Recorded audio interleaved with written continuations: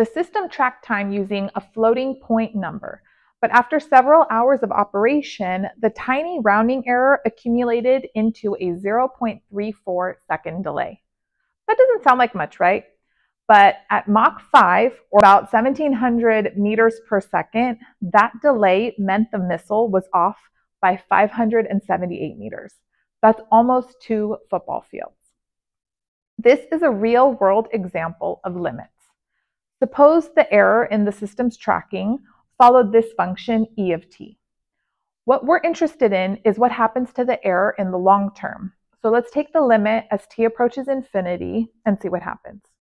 Using the squeeze theorem, we can show that the limit of the quantity e raised to the negative 0.05t times sine of 0.1t equals 0. So the limit of e of t equals 0 minus 0.34, which is negative 0.34.